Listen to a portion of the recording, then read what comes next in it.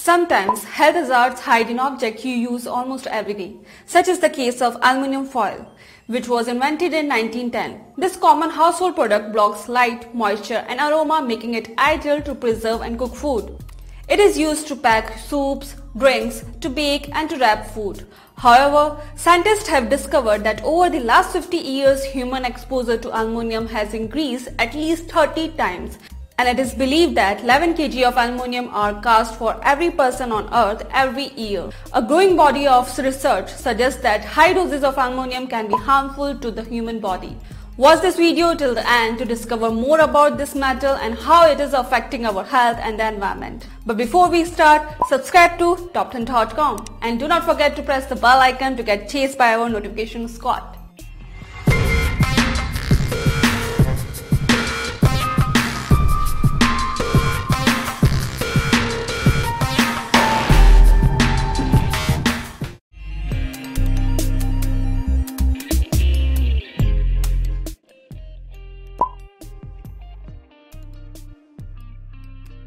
Aluminium is one of the most abundant metals on earth. In its natural state, it is bound to other elements like phosphate and sulfate in soil and rocks and clay.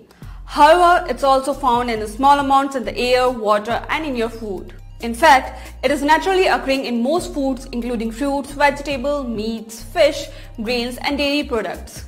Some foods such as tea leaves, mushrooms, spinach and radishes are also more likely to absorb and accumulate aluminium than other food. Additionally, some of the aluminium you eat comes from processed food additives such as preservatives, coloring agents, anti-caking agents and thickeners. Note that commercially produced food containing food additives may contain more aluminium than home-cooked foods.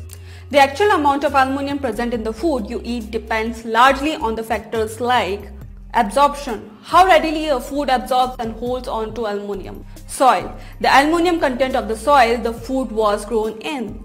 Packaging. If the food has been packaged and is stored in aluminium packaging. Additives. Whether the food has had certain additives added during processing. So these were the actual factors which determine the presence of aluminium quantity in your food.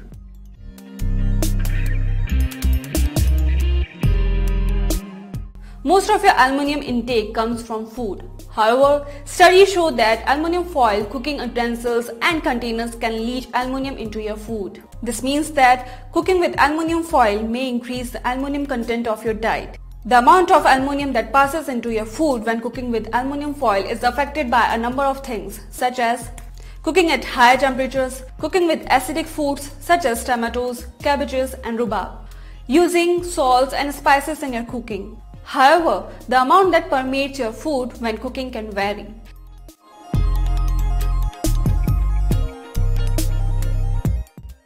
It is impossible to completely remove aluminium from your diet, but you can work to minimize it. The World Health Organization and Food and Drug Administration have agreed that levels below 2 mg per 2.2 pounds body weight per week are unlikely to cause health problems. The European Food Safety Authority uses a more conservative estimate of 1 mg per 2.2 pounds body weight per week. However, it's assumed that most people consume much less than this. Here are some steps you can take to minimize unnecessary exposure to aluminium when cooking. Cook your foods at lower temperature when possible. Reduce your use of aluminium foil for cooking, especially if cooking with acidic foods like tomatoes or lemons. Use non-aluminum utensils to cook your food such as glass or porcelain dishes and utensils.